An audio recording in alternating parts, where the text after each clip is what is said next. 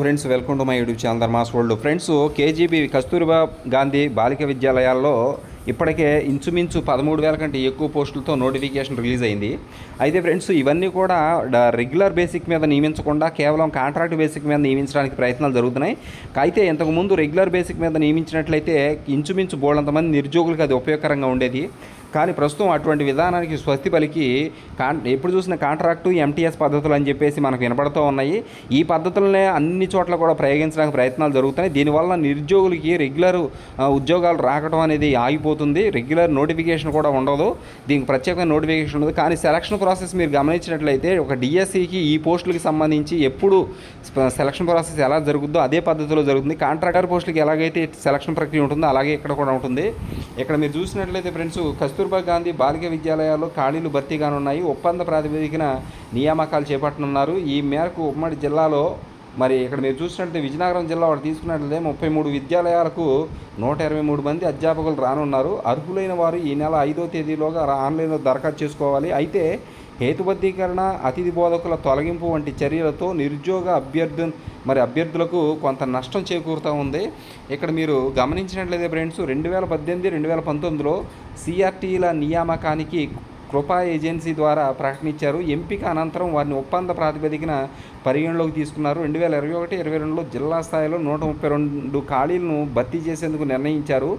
ఈ మేరకు మెరిట్ ప్రాతిపదికన ఎంపికలు చేపట్టారు. తుది జాబితాను ప్రకటించిన సమయంలో ధ్రువపత్రాలపై ఆరోపణలు రావడంతో నియామకాలు రద్దు చేశారు. అప్పట్లో రెండు వేల మూడు వందల తొంభై మంది దరఖాస్తు చేసుకున్నారు. ఈ ప్రక్రియ నిలిచిపోవడంతో అప్పట్లో అతిథి బోధకులను నియమించారు. వీరిని రెండు వేల ఇరవై రెండు ఇరవై మూడు విద్యా సంవత్సరం చివరి రోజు తొలగించారు. కొత్తగా వచ్చే వారిని కూడా తొలగిస్తారేమోనన్న ఆందోళన అభ్యర్థుల్లో కనిపిస్తూ ఉంది.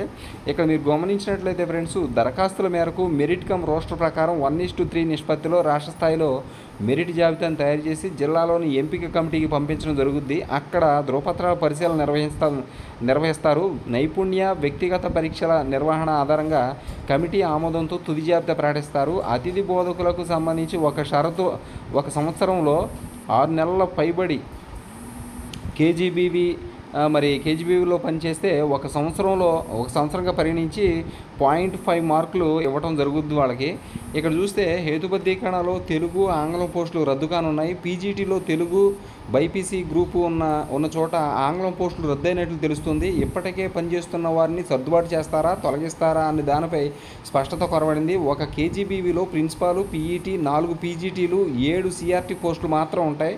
సిఆర్టీలతోనే పీజీటీ తెలుగు బైపీసీలో ఏదో ఒక సబ్జెక్టు చెప్పించేలా ప్రణాళిక రూపొందించినట్లు ప్రచారం జరుగుతుంది.